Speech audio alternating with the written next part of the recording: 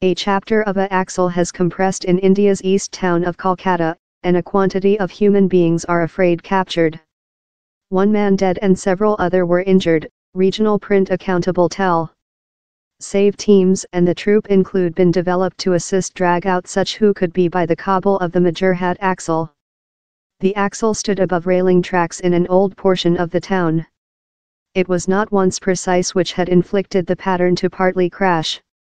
Length on regional TV channels include shown a coach, a few cars and several motorcycles jammed in the caved-in chapter of the axle the head secretary of Western Bengali country, Mamata Banerjee, was cited as proverb by NDTV how the precedence now was ease and save. This otherwise of the inquiry will be made after, the secretary added. The is the other such a occurrence in the town in latter year. Through India, down there include been a quantity of such fatal axle collapses in the history few year.